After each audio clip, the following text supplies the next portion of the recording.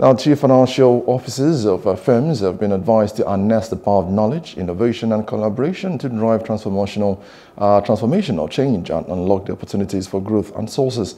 This advice was given by the Dean of Lagos Business School, Professor Chris Ogbechie, at the maiden edition of the school's uh, CFO Leadership Summit, which held in Lagos. Details in this report.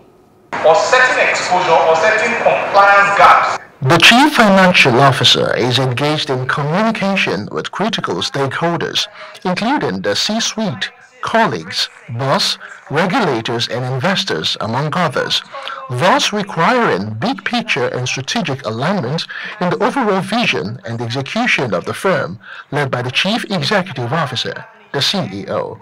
It is against this background that this maiden CFO Leadership Summit tagged the CFO as strategic architect, maximizing the CEO-CFO synergy, which is put together by the Lagos Business School, is apt. Now, according to today's team, which is um, the relationship between the CFO and getting that strategic synergic partnership together, um, I would like to start from the point where you know the environment is challenging.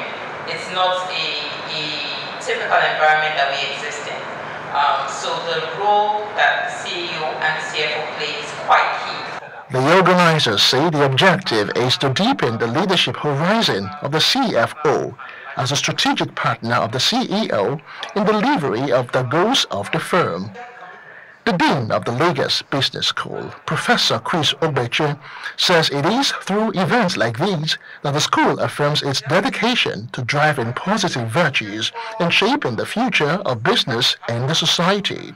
Together, let us harness the power of knowledge, innovation, and collaboration to drive transformational impact and unlock new opportunities for growth and success in our. As we embark on this journey together, we also stand at a tipping point wherein the African continental free trade area, considered to be the world's largest free trade area by the number of participating countries, is unfolding. AFCA aims to boost inter-African trade by reducing tariffs and other trade barriers. So my question is, for some time now, blockchain technology has existed. Uh, why is blockchain technology not commonly used in Nigeria? Participants get an invaluable opportunity to engage in insightful discussions, gain fresh perspective, and exchange best practices that will undoubtedly shape the future of their firms, the nation's economy, and the continent. So it's really important to have a strategy within the organization, but also addressing skill gap in terms of JAPA this will be, should be a continuous engagement. Um, and it's also not cheap. Eh? That tech is quite expensive and complex. And when you don't understand something, sometimes people just take a back seat.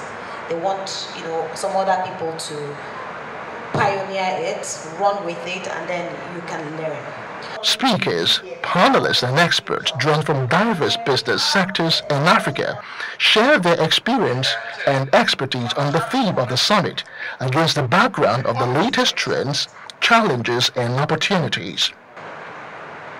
Secondly, as both custodians of financial information, CFOs possess a wealth of data that can provide valuable insights into the organization performance. By harnessing the power of data analytics and leveraging predictive modeling. The LBS CFO Summit is also a platform for fostering collaboration among peers and building relationships that will endure long after the program concludes.